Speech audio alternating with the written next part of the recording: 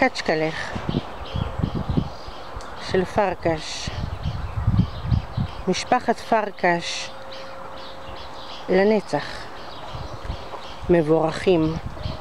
אלוהים אוהב אנשים ישרים וטהורים.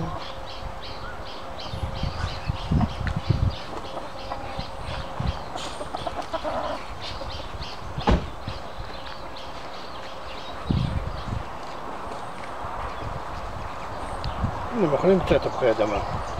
תפוחי אדמה, קליפות מנגו,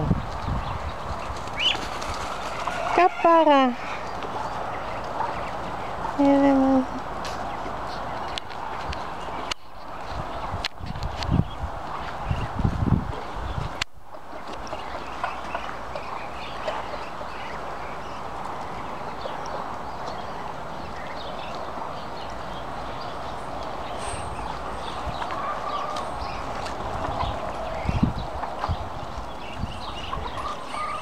חמודים.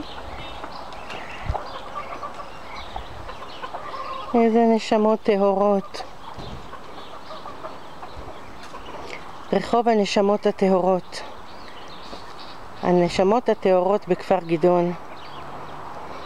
הם שווים את כל כפר גדעון. קצ'קלך? כן, כל כפר גדעון הם שווים. ברור. אין בכלל ספק אצל בורא עולם. כל קצ'קלה שווה את כל כפר גדעון.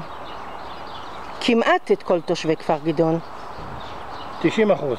90 אחוז. בואו ניתן זכות לילדים.